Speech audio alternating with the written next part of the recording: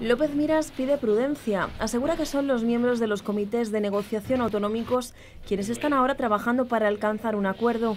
Por eso no desvela detalles, aunque no esconde que quiere formar gobierno con Ciudadanos. Y estamos convencidos que se puede alcanzar con un gobierno sustentado por 22 diputados. Y a partir de ahí, a partir de ahí, nosotros estamos dispuestos a hablar con todos los partidos eh, políticos, por supuesto, porque tienen legitimidad para ellos, y a llegar a acuerdos que garanticen, por supuesto, la estabilidad de un gobierno con 22 diputados como, como ha sido los últimos cuatro años.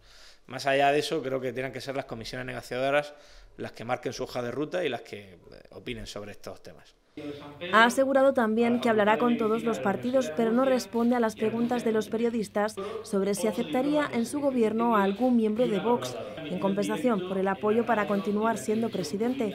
Tampoco a dar una explicación sobre ese pacto que decía ya estaba firmado entre PSOE y Ciudadanos para formar gobierno en Murcia, algo que manifestó en numerosas ocasiones durante la campaña electoral.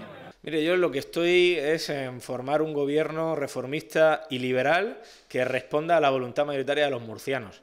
Y en eso es en, lo que estoy. Y ese es el pacto que, me gustaría llegar y el acuerdo que quiero, que creo que, que necesita la región de Murcia y sin duda el acuerdo que respondería al mandato de la mayoría de murcianos.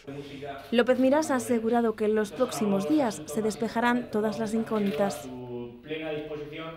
para atender aquellas cuestiones que tengan convenientes. Claro.